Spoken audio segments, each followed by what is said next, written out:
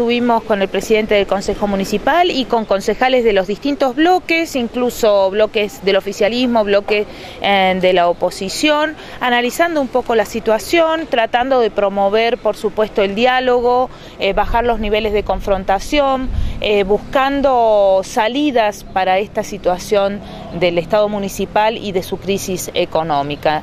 por supuesto, también estuve con los trabajadores que forman parte del equipo del Consejo y que también sufren eh, esta violencia en carne propia. Así que buscando salidas, entendiendo que la violencia nunca, jamás es una alternativa, que no vamos a salir de la situación eh, conflictiva que tiene Bariloche eh, de este modo y que queremos, por supuesto, un fin de año en paz.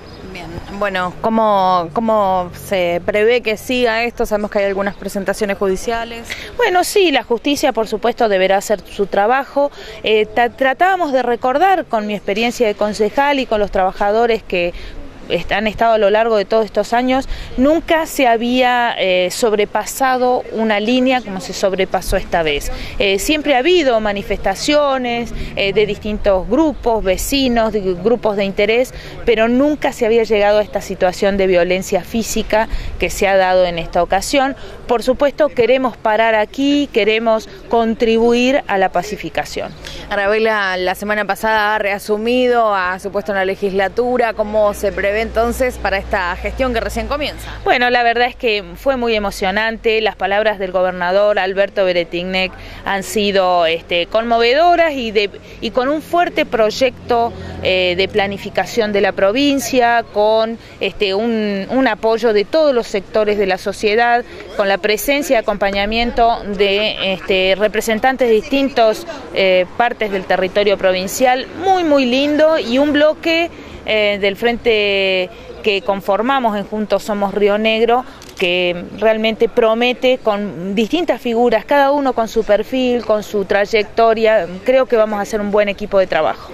Bariloche mantiene una expectativa muy alta con respecto al apoyo que reciba de provincia en esta nueva gestión de Gustavo Genuso. Sí, nosotros por supuesto ya el gobernador se ha manifestado, no, no, no puedo agregar mucho más que eso, pero sí convocamos a todos los vecinos de la ciudad a aportar para que Bariloche salga adelante. Es decir, cada uno con su responsabilidad. Los que tenemos responsabilidad de gobierno tenemos mucho más que hacer aquí, pero pienso que cada uno puede contribuir a la pacificación y aportar su granito de arena con la basura, con las veredas limpias y arregladas, con este, la presencia, eh, con el pago de, de las tasas municipales. Creo que vamos, vamos a necesitar de todos para sacar esto adelante.